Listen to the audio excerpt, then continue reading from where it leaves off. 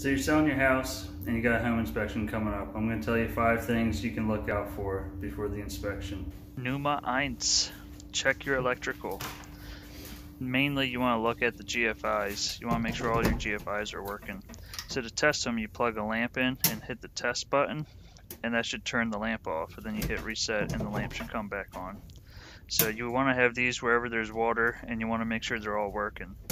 And while you're at it, it's not a bad idea to check all of the other outlets in the house just to make sure they're working properly as well. Numero 20, your drains. You want to make sure your drains aren't plugged.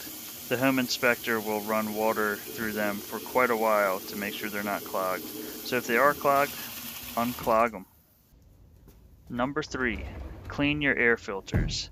This step is really easy to overlook, but you want to make sure that you do this because if your filter looks anything like mine does here, then it's going to cost you some money.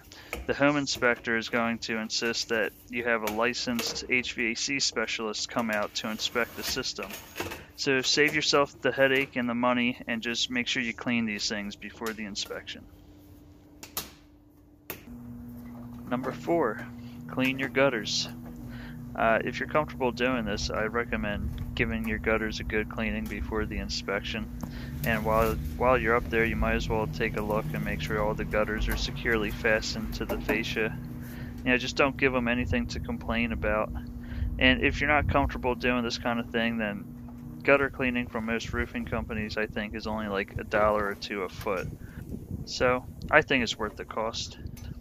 And while I was out here, I decided to also clean out the dryer vent. Like I said, just don't give them anything to complain about. Lastly, make sure your windows are working properly, otherwise they're considered a safety hazard.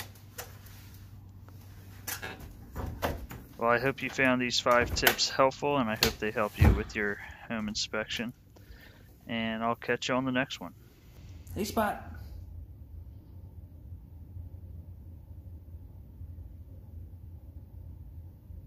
Spotty. Spotty. Spotty squirrel.